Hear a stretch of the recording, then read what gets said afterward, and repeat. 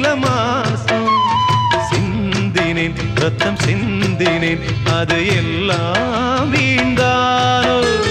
வேப்பிலை கருவேப்பிலை அது யாரோ நான் தானோ என் வீட்டு கண்ணுக்குட்டி என்னோட மல்லு கட்டி என் மார்பில் முட்டுதடி கண்மணி